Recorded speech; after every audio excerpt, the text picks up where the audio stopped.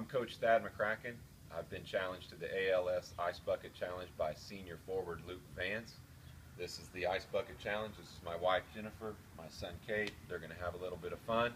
Once we're done here, Coach Amy Weaver, Athletic Director at Hendrix College, Vice President Ellis Arnold, and President Bill Tsutsui. You're all, you're all on the clock.